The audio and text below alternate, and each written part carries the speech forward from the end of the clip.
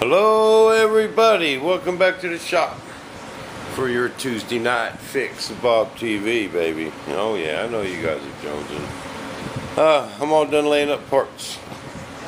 With the exception this after I get it, got it molded. I had my glass on this yesterday, guys, but I started uh, checking in and it was too short. So I had to add a piece. I glassed this side this morning, I glassed this one a while ago. And it'll set up for a couple more hours. I'm gonna try and get these pieces on tonight and I get some primer on it. So I can get that molded the next day or so. Bust me out a couple parts, baby. Got my tanks all done. See what I did is I ended up just putting a coat of resin on all of them with that peel ply surface and uh, them bad boys ain't leaking nothing. but I got them all done and uh, found a really good way to put my holes in and I'm going to show you guys. And uh, I got, I found a carbon fiber tube that is just perfect bam. For uh, these ends. Fits that just perfect. Stopper goes inside. Alright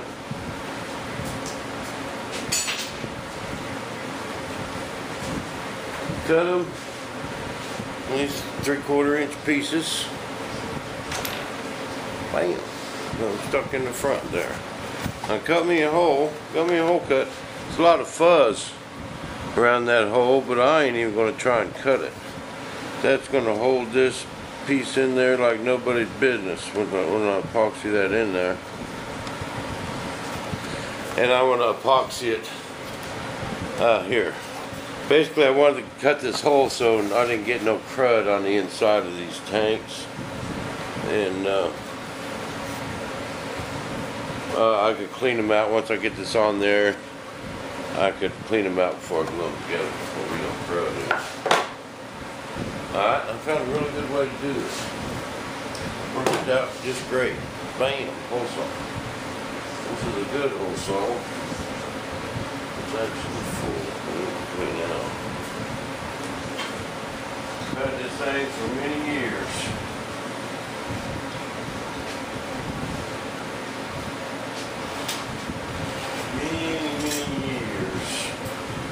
have this thing.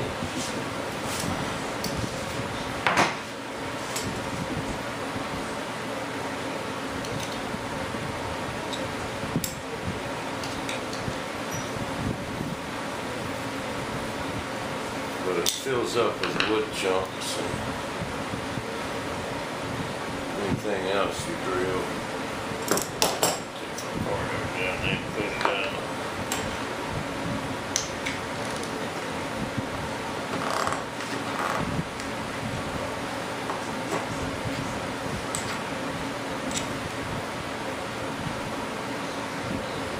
Got to clean her out every now and then.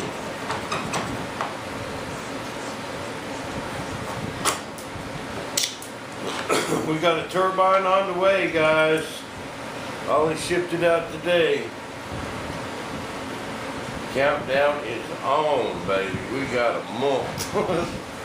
I got to get busy. I'm going to be painting next week. I'm going to get all this little stuff done. I actually got them fins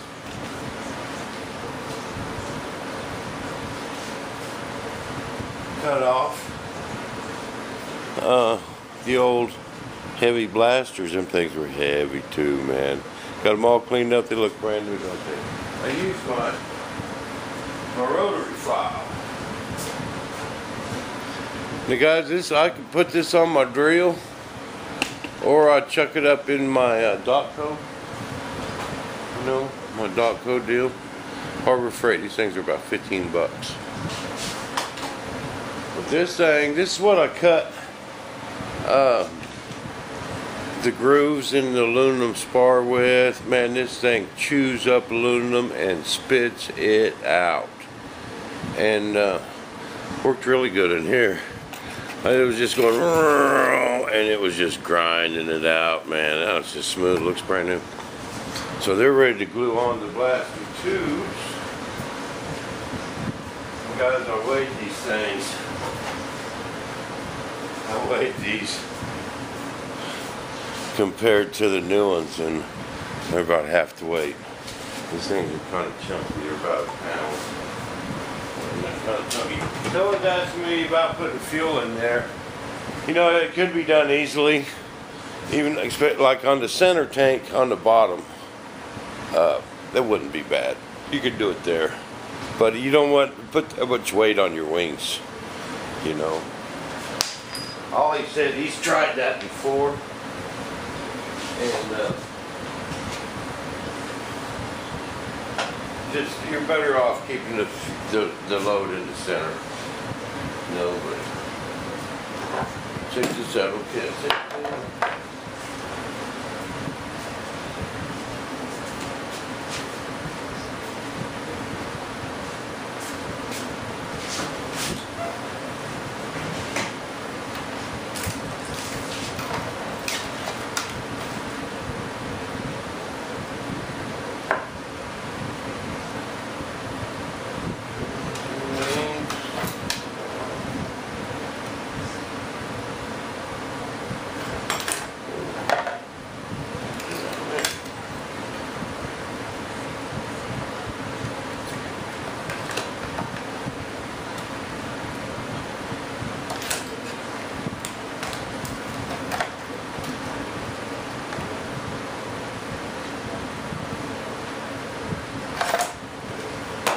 That'll work.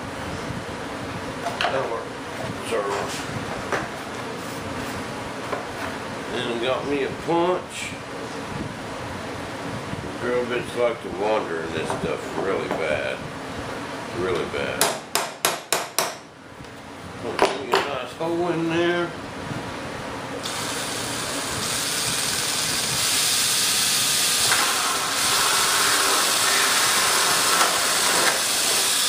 I was surprised how easy that was. This is all two layers. This tank is, this is a, uh, two layers, or one layer of, of six ounce cloth and two layers of that Kevlar. And, uh, a really nice tank.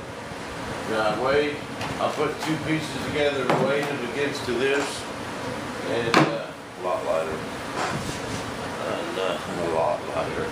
Cause this is a, this one's a, a layer, two layers of six ounce and two layers of ten ounce cloth, all wet layup, no pill clot. And is, it did not leak, but it's a heavy tank. These weigh, these weigh half what that tank weighs. So we're gonna lost more weight there, Ollie, old buddy.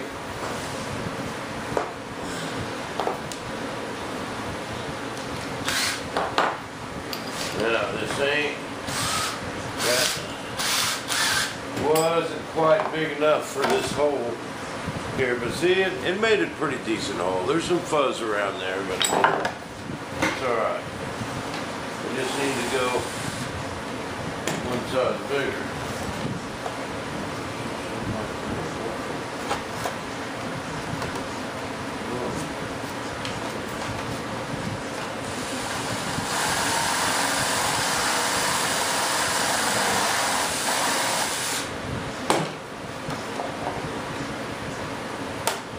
Bam. Perfect, snug, nice snug fit. That'll be an awesome glue joint. Awesome, awesome glue joint. And that takes the load off of this.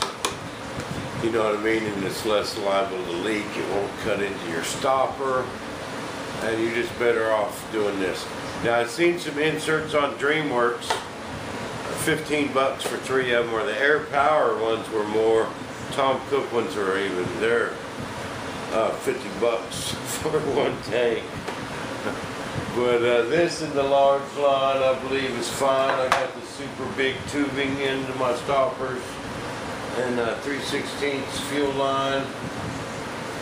And we'll be fine. I, even the vents, I use that big 3 16 stuff and I drill these things out, them stoppers. drill them out, use big old brass tube going through there. And, uh, where's one? I one yesterday. That do it? And great big clunks. Like the big heavy. Here. See, this is all big, big tubing. And see, I like to put brass tubing here so this fuel line can't double up and go into the front. You know, like if you're in a dive, if you just got solid uh, fuel line, them tend to double up and go in the front. And uh, bam. And the big 3 16 fuel line. And it worked just great. I, I even drill out these stoppers, guys, where these clunks. See, I drill them clunks out as big as you can get them. That gets your voltage down because you don't have to work on drawing the fuel out. Okay, what I gotta do is make sure I drill everything right in line. Okay, then just one more hole in this one here. And uh, we'll be fine. I could even put these, put this stuff together before I actually glue my tanks together to make sure I get it all just perfect the way I want it.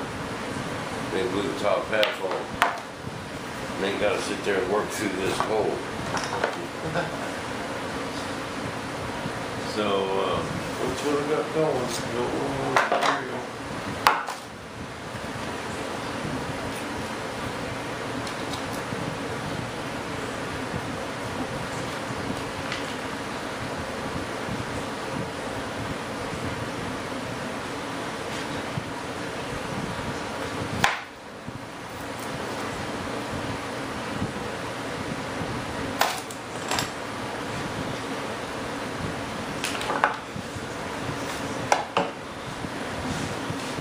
Just tried to stepper bit the first time, but it was cutting way too much material.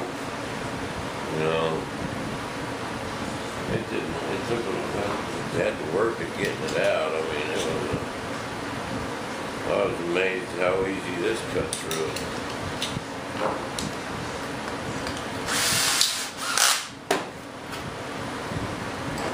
But if you don't punch this stuff, drill bit will just go all over the place. Do that it won't.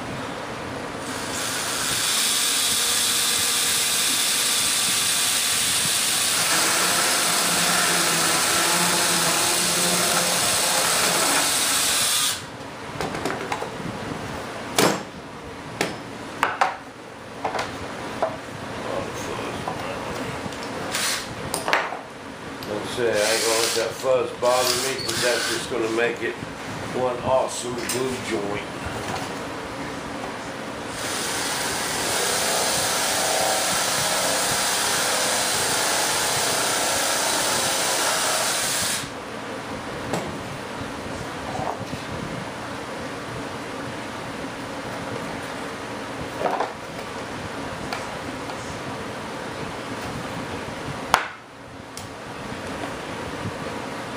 That fuzz. Now I'm gonna use, the glue I'm gonna use is just my, the- all the same epoxy.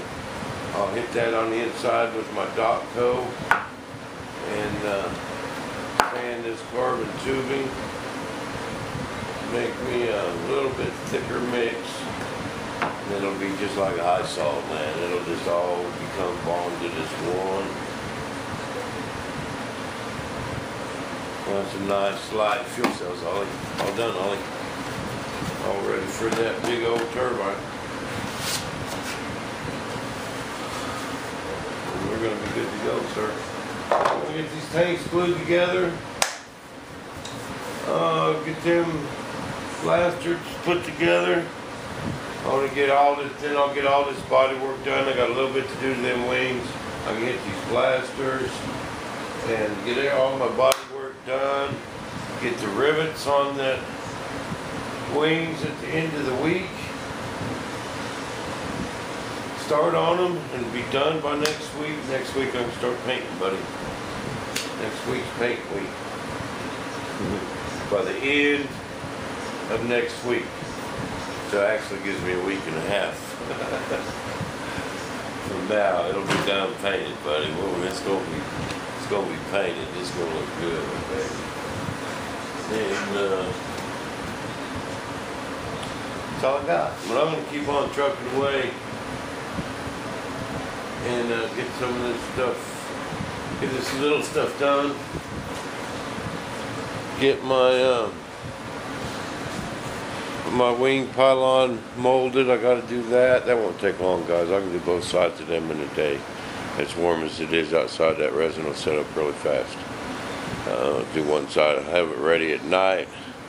Next morning, do one side, throw it out in the oven outside. Couple hours, it'll be set. Turn it over, do the other side, and the next day I can pull out a couple parts. That's the only thing I'm lacking, guys. I got everything else done. No more resin work, just that uh, wing pylon. And uh, that's where I am. I'm gonna keep on trucking, baby, and we're gonna get this done. So we will see you back in the shop on the countdown to Kentucky. Bam.